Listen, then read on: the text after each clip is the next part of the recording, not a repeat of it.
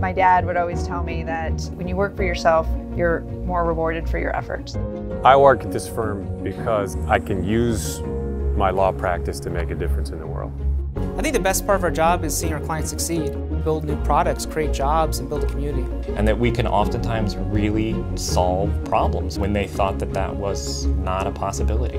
I love meeting the kids and adults with special needs. I love seeing them become successful and independent. Being able to help them get their life back on track was really important to me. I am home, baby girl, I am home. Every system has cracks that people can fall into. And what we're trying to do is make those cracks smaller. When you see them getting out and the family waiting outside the facility, that's rewarding. That's, that's, the, that's the it. That's the moment.